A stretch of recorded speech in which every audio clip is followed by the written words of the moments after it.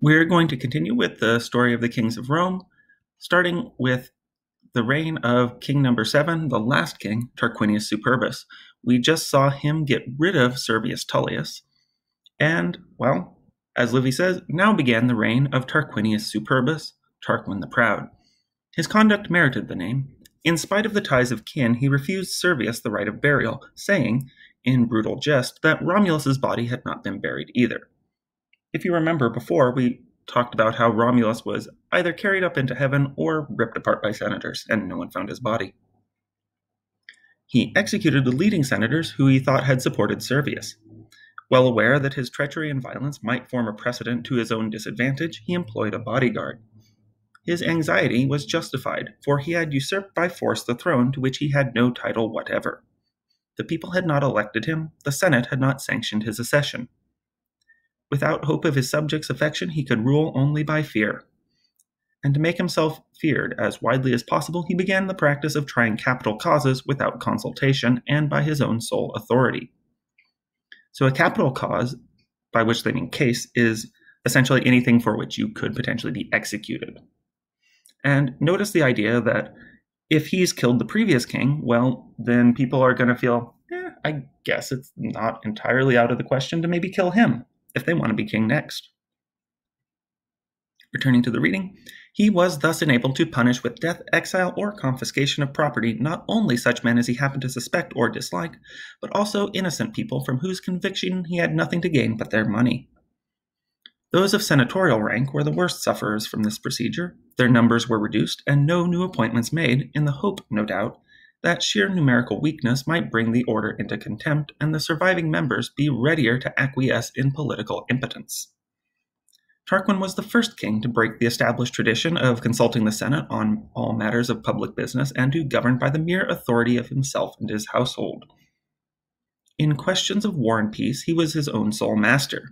He made and unmade treaties and alliances with whom he pleased, without any reference whatever either to the commons or to the Senate, he made particular efforts to win the friendship of the Latins in the hope that any power or influence he could obtain abroad might give him greater security at home. With this in view, he went beyond mere official friendly relations with the Latin nobility and married his daughter to Octavius Mamilius of Tusculum, by far the most distinguished bearer of the Latin name, and descended, we are told, from Ulysses and the goddess Circe.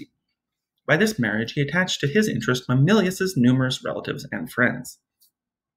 So remember that Rome is merely one of the ethnic Latin towns in the area we call Latium.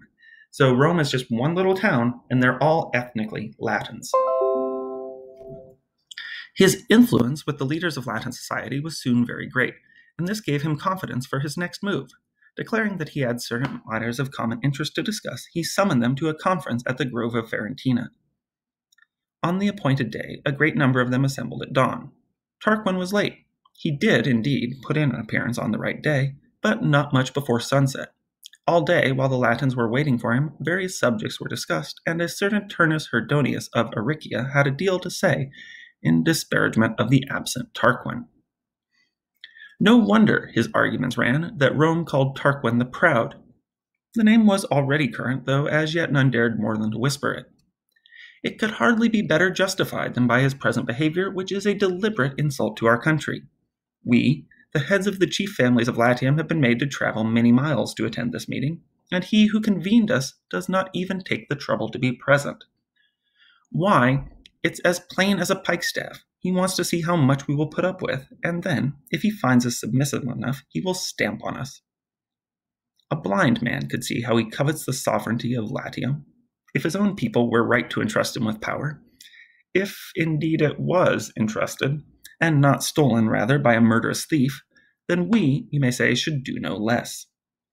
Even so, I would remind you that he is a foreigner. But what are the facts? His own people are sick of him. They are weary of the continual slitting of throats, exiles, confiscations that are going on in Rome. And, if it, that is true of Rome, could we in Latium expect anything better? Take my advice and go home, all of you. Do not trouble to keep your appointment here any more than he has. Turnus, who had acquired some influence in Latium as an inveterate troublemaker, was in the full flow of his eloquence when Tarquin's unexpected arrival cut him short. The audience turned their backs on the orator to pay their respects to the king. There was silence, and Tarquin, advised to give some reason for being so late, said that he had been asked to settle a dispute between a father and son, and that, hoping to reconcile them, he had been unavoidably delayed. And as that little business, he added, has left us no more time today, I will wait till tomorrow to deal with the matters I propose to discuss. The excuse was not good enough for the angry Turnus. No dispute, he said, is said to have replied, is more quickly settled than one between a father and son. All one need say is, Obey your father or suffer the consequences. And honestly, Romans would have agreed with that. Remember, they are an extremely patriarchal society. With this parting shot, Turnus took himself off. Tarquin was the more disturbed by this incident than he let himself appear, and promptly considered ways and means of getting rid of Turnus. It would be politic, he felt, to make the Latins as much afraid of him as the Romans were. He was not yet not as yet in a position to openly order his execution, so he decided to attain his object by having him convicted of a trumped up charge. For this purpose, he managed to persuade certain political enemies of Turnus to bribe one of his slaves to allow a large number of weapons to be smuggled into his lodging. It was done within the course of the night, and very early on the following morning, Tarquin set for certain distinguished members of the Latin nobility and pretended to have received alarming news, adding that his late arrival on the previous day had turned out to be a piece of extraordinary good luck and had saved them all. Turnus, he went on, is, I am told, planning to assassinate me and the leading men in all the towns of Latium. His aim is the monarchy. He would have acted yesterday at the conference had it not been for the absence of his chief victim, myself. He was obliged to wait, and his consequent disappointment was the reason for the bitter language he used against me. I am convinced, if the information I have is true, that when we assemble at dawn tomorrow, he will be there to attack us. He will be well armed and strongly supported, for a great many weapons I have, have, I have learned, been conveyed to his inn.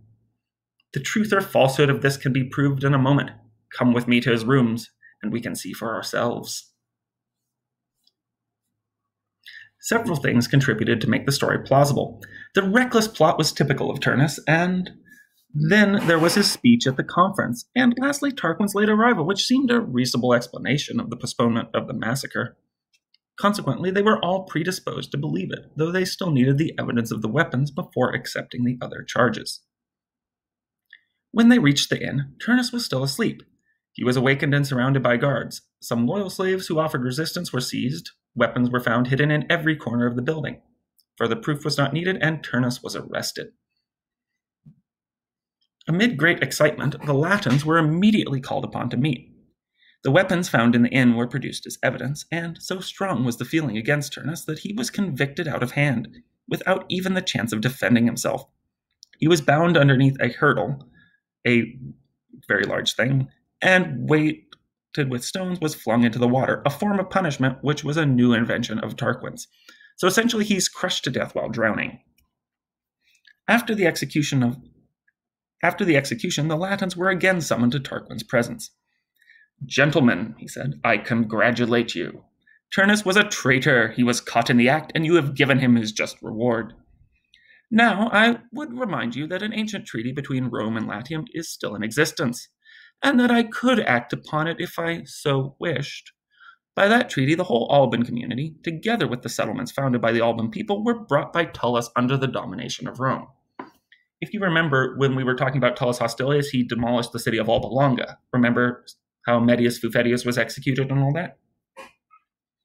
Returning to this, you, Latins, are of Alban descent and therefore bound by the terms of that treaty.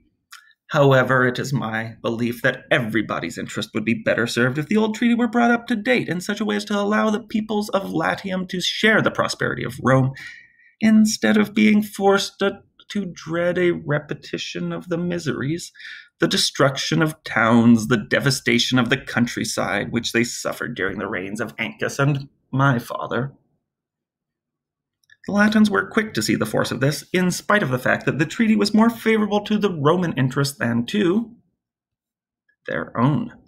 Moreover, it was obvious that the most influential among them took Tarquin's view of the matter. Not to mention that the recent fate of Turnus was evidence of what would happen to anyone who ventured to oppose him. The treaty was accordingly revised, and a proclamation was issued to the effect that the Latins of military age should present themselves, fully armed, on the day fixed for the purpose at the Grove of Ferentina. In accordance with the edict, men from all the Latin communities duly assembled.